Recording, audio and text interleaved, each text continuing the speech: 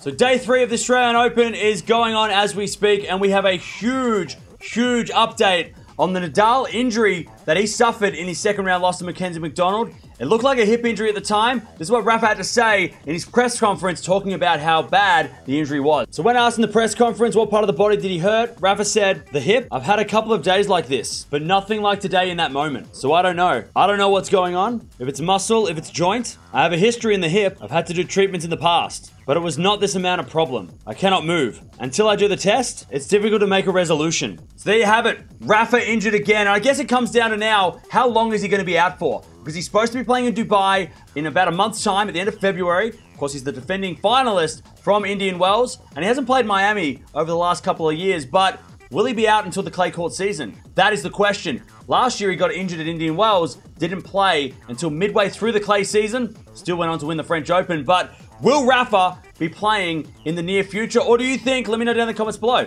do you think that Rafa is going to be out until the clay court season and we're not going to see him till April? But man, it's a tough Australian Open. We've seen a lot of injuries already. Rafa adds to that list. Djokovic obviously playing with some kind of injury as well. This is what happens when the GOATs get older. They're going to get injured. And this is the first time, I think, in a very, very long time that we don't know who's going to win this Australian Open now because injuries are a huge concern to the players that we expect to win these tournaments. But Rafa Nadal out of the Australian Open, injured again.